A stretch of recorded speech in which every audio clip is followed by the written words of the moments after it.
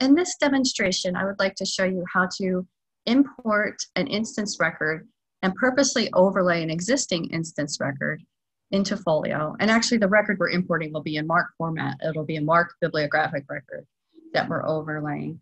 And a typical example of this is if uh, you somebody imported, say, acquisitions uh, record or just a brief record, and then you find a better record for it. So in my example here, these records came out of OCLC, and I have them. I'm going to open them up in uh, MARCedit.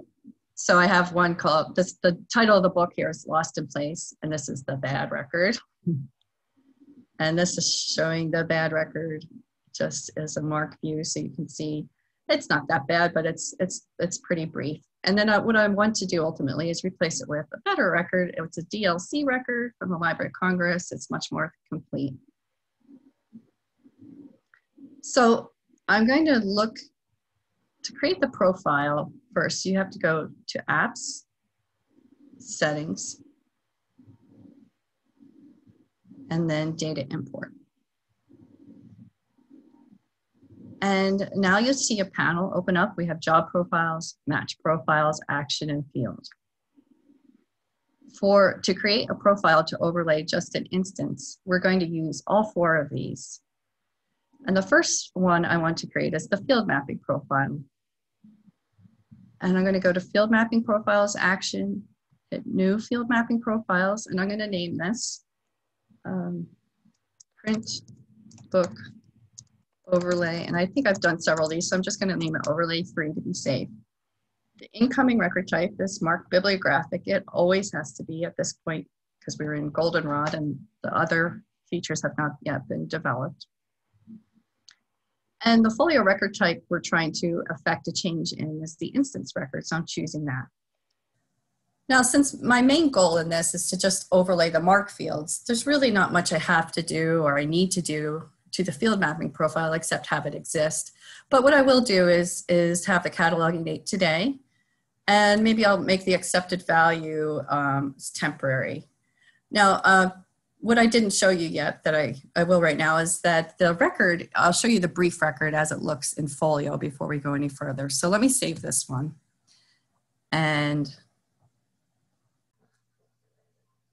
I'm going to click on inventory and type in that title select title. It's called Lost in Place. And I'll hit search.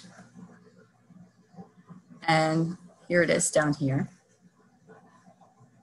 And so just so you can see the original record, you saw the bibliographic portions of it.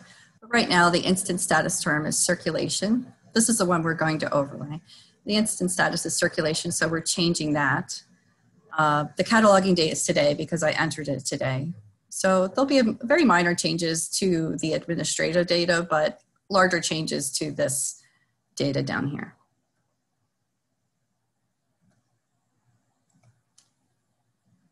And now we need an action profile. For every field mapping profile you build, it has to hook up with an action profile. So the action profile tells it, do you want to create a new record? Or are you intending to replace a record? So this is where it's, we're going to um, select replace. So the name of it I'm going to put is print or over, overlay instance three. And then I'll select replace because we were replacing the record. The folio record type is instance. And I have to find that profile that we created, which I print book over demo. Print book overlay three is what we called it. Okay, so I'm gonna save it and close it. And now I do need to create a match profile and I have several here, but I'll create a new one and you can reuse these. These I do not give naming conventions. I, I, usually name my action profile and field mapping profile, give them the same exact name since they're always hooked up together. But matching profiles, can be used and reused in different job profiles. So I'd like to, and I'd like to be again explicit when I'm naming them. I might change this, but that's just for now what works for me. So my new match profile, I'm going to put match on 001 to HRID. And then as you go lower down the details, it asks which type of existing record would you like to compare to the incoming MARC record? So my incoming MARC record, I want it to compare to the instance. That's the, um, I, I want my match to be, actually it's gonna be from the 001 field in my MARC record to the HRID field in the instance record. So my matching is between these two. And then we're going to keep it very simple down here and really not use many of these because you don't need them, especially if you're doing a simple match on the 001 field to the HRID. So the oh, field again is the 001. And in the exist, I'm going to skip use qualifier. I'm not going to touch this. And I know it's going to match exactly because I'm going to make it match it exactly. And I'll show you that too. And what's it matching in the instance record? It's matching the HRID. So you have to scroll down a little to find that. And it's, to, it's under admin data instance HRID. And that's all you need for that. And I'm saving that.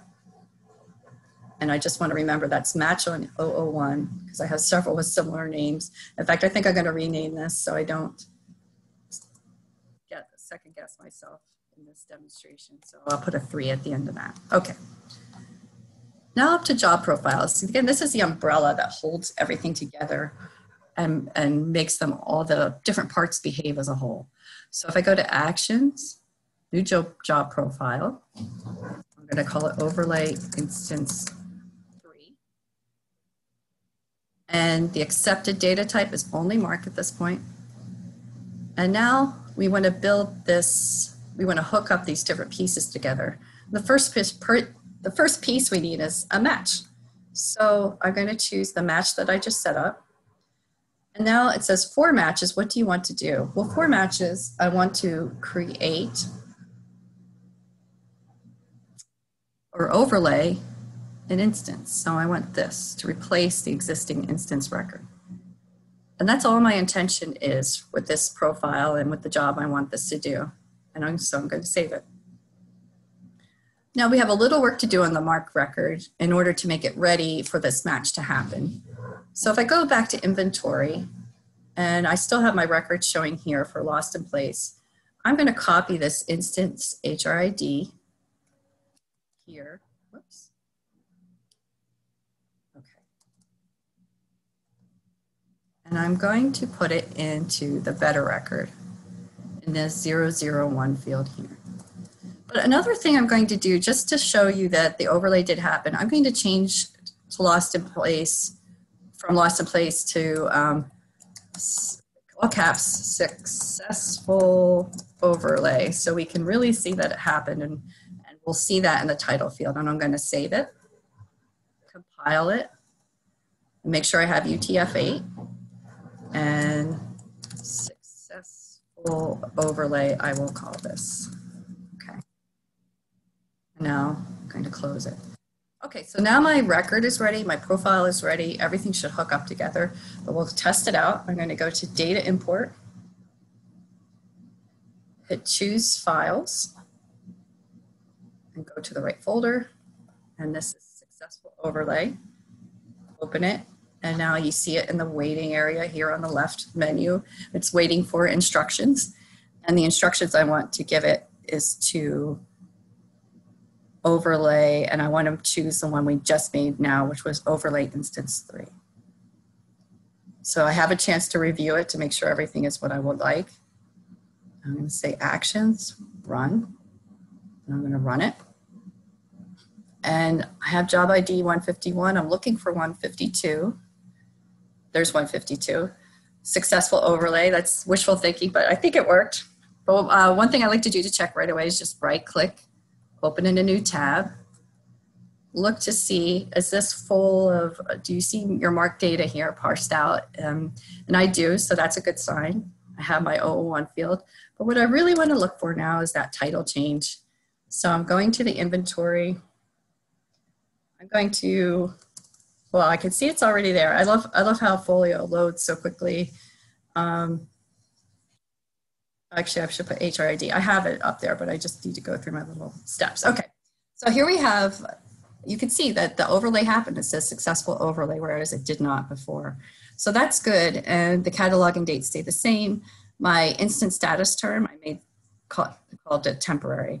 I did not do anything, ask it to overlay the holding or anything to the item. So everything went according to plan. Um, if I want to check, I can go to actions, edit and quickMARC and see did all the fields come up that I wanted to come up. Um, I could take this out at this point too if I just just to see if that works and, and hit save. So that's how you do set up a profile to create an overlay based on the HRID matching with your incoming MARC 001 field.